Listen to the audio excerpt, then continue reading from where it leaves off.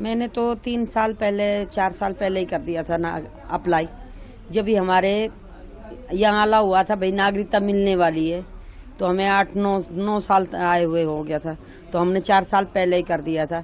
जब भी हमें बच्ची का नाम नागरिकता रखा था, मेरी पोती का हमने कहा हमें नागरिकता मिलेगी। बहुत खुशी हुई थी हमें नागरिकता की बात सुन के।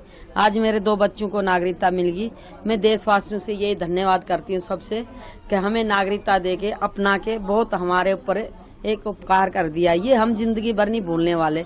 और इसी नागरिकता की इतनी इज़्ज़त करेंगे जितने अपने बच्चों की और बुज़ुर्गों की और देवताओं की करते हैं। क्यों तो हमें नागरिकता दे के बहुत सम्मान किया हमारा। और हम भी उनका धन्यवाद करते हैं जिसने भी हमें नागरिकता दी। और ये सोचा, भाई, ये हमारे बच्चे इनको नागरिकता दी जाए। इनके लिए भी हम धन्यवाद करते हैं जो हमें नागरिकता दे के अपने बच्चे करके माने हैं। हमने जितने भी दुख झेले ने उनका कोई भी हमें दुख नहीं आज।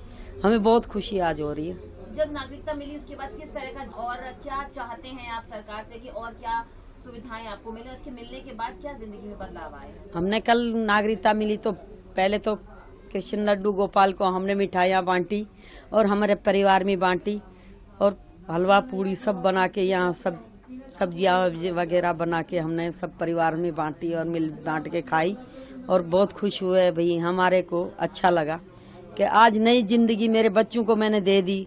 वो अच्छा लगा। मैं यही सोचती थी, मैं मर जाऊँगी तो यहाँ नागरिकता मेरे बच्चों की नहीं होगी, फिर क्या होगा? मेरे बच्चे कहाँ भटकते फिरेंगे? आज मेरे बच्चों की इतना हो गया कि बच्चों की नागरिकता आ गई।